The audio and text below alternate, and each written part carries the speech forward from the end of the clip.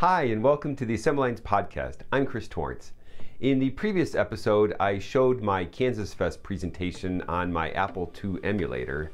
I left a lot of questions unanswered, such as how had I fixed the sound, as well as done things like supported double high-res graphics. So in the next couple episodes, we're going to tackle these subjects. In this episode, I want to go over how I finally solved the problem of simulating a one-bit speaker on a modern machine and got the pulse width modulated sounds actually sounding good. So let's get started.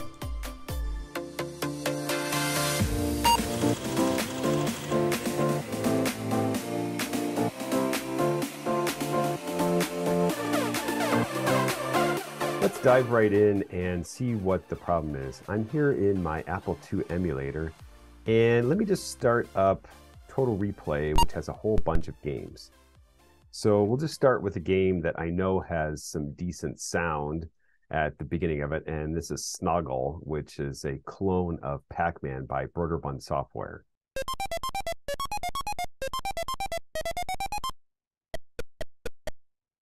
All right, so you can see that that actually sounded pretty good. And so you might be thinking to yourself, well, what's the problem here?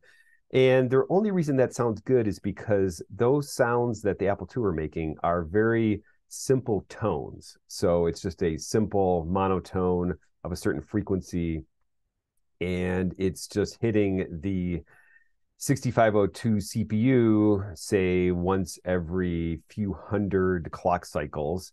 And so the Apple II emulator on my Mac is easily able to keep it going.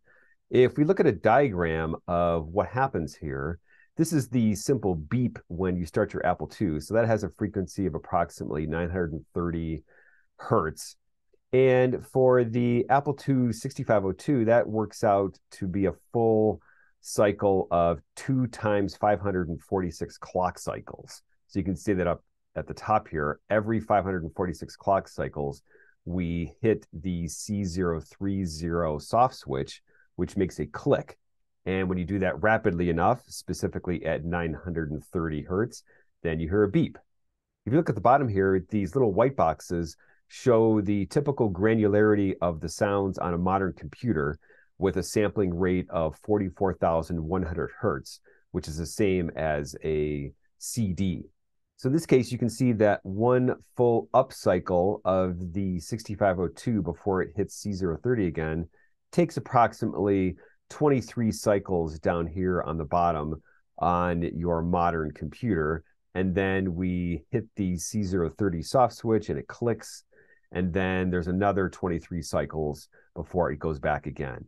Your modern computer is easily able to keep up with this because it just continually sends a plus one, plus one, plus one to the sound generator and then after 23 cycles, it switches and sends minus ones for another 23. So this works great for simple sounds or for sounds up to a certain frequency. However, the trouble is when you start trying to do things like pulse width modulation, then you run into problems. Because instead of doing things at this nice, even, orderly, every few hundred clock cycles, with something like pulse width modulation, that you might be hitting the C030 soft switch every 5, 10, 15 clock cycles, perhaps even more frequently. And so there's no way to fit that sort of sampling rate into something that is only going at 44,100 hertz. So let's see what this sounds like in action. I'm going to fire up the Nox Archaist demo here that comes with my Apple II emulator. And this actually uses pulse width modulation. Uh, it was written partially by Kris Kennaway, and it does a fantastic job on regular Apple II hardware at saying speech. So let's listen.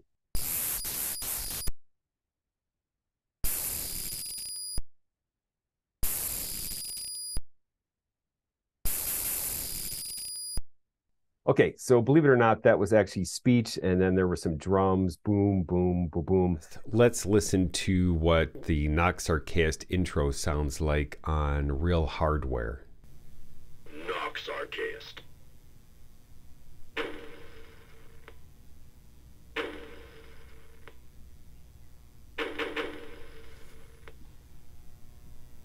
And let's go back to my diagram here and we'll just scroll down here to the bottom half of this. So now what I'm showing is a zoomed in portion of the 6502 clock cycles.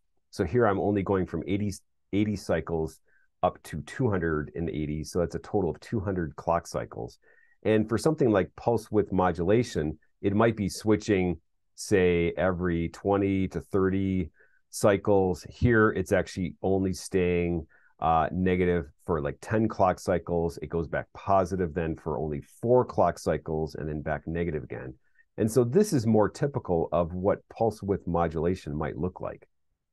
So to try to fix this, I did a number of, uh, I took a number of different approaches. I first tried something that Kris Kennaway had talked about at Kansas Fest 2022. And in his presentation, he had done all sorts of measurements on a real Apple II speaker. And for example, this is just one of his plots that he showed during his talk, where a single click of the speaker produces all of these damped oscillations that gradually fade out. And he identified two main frequencies. There was a higher frequency wave at the very beginning with a frequency of approximately 3880 hertz. And then there was this larger low frequency damped oscillation around 480 hertz.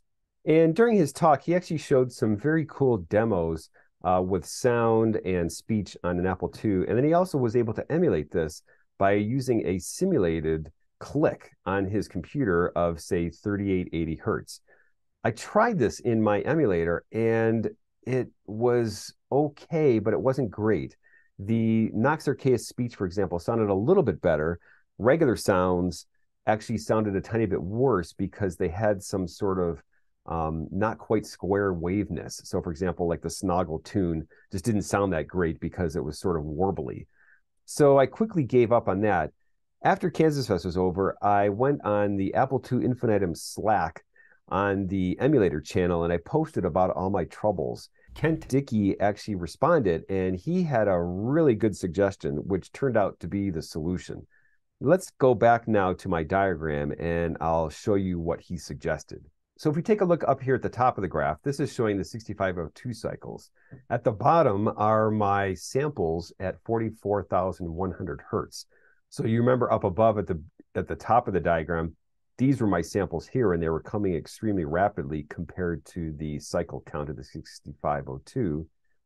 Down here at the bottom, these are my 44,100 hertz samples, four, five, six, seven. So you can see that some of these waves are just switching way too rapidly to fit in. And my emulator before would have just assigned a value of plus one to this one, plus one to this one, because it still saw a plus one coming in. These would have all been minus one. And then here it would have switched back to plus one. And so the problem is you would get all sorts of ringing effects because it wasn't accurately capturing the sampling of the 6502. Instead, what Kent suggested is taking a look at the relative contribution of the 6502 cycles to the note. So, for example, if we look at this sample here from four through five, you can see around 6502 sample 94, it switches to negative, and then it stays negative for about 12 clock cycles, it goes back positive for four clock cycles, goes back down negative, and stays negative for a long time. If we add up the positive contributions during this sample, it turns out that that has a contribution of 0.27. Similarly, over here on the right, once we finally go positive again, here we've gone positive halfway through this 44,100 hertz sample. And so this is going to have a contribution of 0.5 to this sample. And so rather than just making my samples be plus one or minus one as discrete units, instead, I now keep track of how much of each sample was spent positive or negative, and then I assign this value, say 0.27 or 0.5, to the actual value of the sample that gets played back on the Mac or PC. And this solved all the problems. So let's go back to my emulator code now. Here's the old oscillator with my kind of plus and minus one with nothing in between. I'm now going to switch that back out to the new one. We'll save it. And here's the new code over here. I have a great big comment at the top with explaining Kent Dickey's algorithm. And if we now go back over to my emulator, reload it. First, let's just try Snoggle again.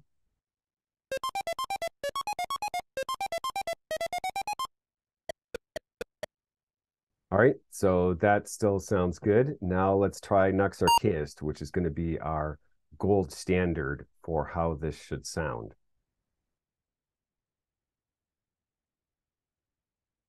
Nox Archaist.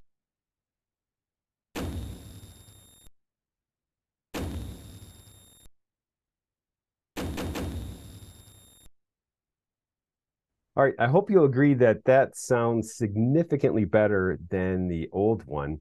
You can still hear a little bit of a high-pitched whine, and this is due to the carrier wave that's used to encode the pulse width modulation. The algorithm that was written by Kris Kennaway uses a carrier wave of 20 kilohertz. I don't think you're actually hearing the 20 kilohertz carrier wave because I know my ears aren't good enough to hear that. Instead, what I think you're hearing is some sort of ringing, perhaps caused by the carrier wave and interacting perhaps with the uh, 44,100 hertz samples of my Mac. Let's fire up Nox Archaist in the Virtual 2 emulator, which is pretty much the gold standard of emulators, uh, at least on the Apple. Nox Archaist.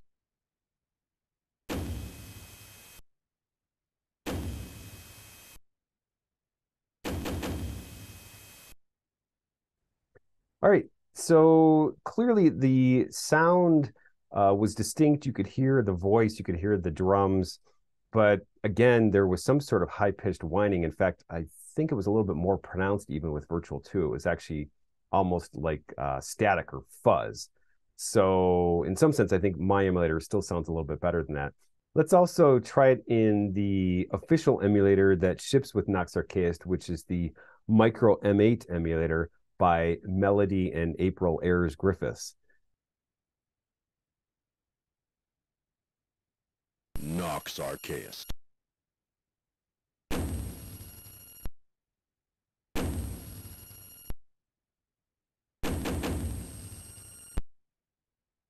All right, so again, it sounded good. The speech was good. The drums, there was still the high pitched whine. I think it was still a little bit more pronounced even in my emulator. Let's try something like the Halley project, which I know also uh, uses something similar to pulse width modulation. I'm not sure the exact technique, but we'll boot that and see what that sounds like. Delta One Niner, we are lost behind Jupiter. Roger, this is Delta One Niner. We have you on radar. We are go on hyperspace. Okay, so that sounded fine. It's clearly quite loud. Uh, I don't think it's quite as sophisticated of a PWM technique as was used in Nox Archaist or some other things, uh, but it sounded good. Let's see if we can find something else to try. All right, let's try uh, this program called Musical Land, which I'm not even sure where this came from, but it's pretty cool. I have no idea um, how the sound is being done, but let's just listen to it.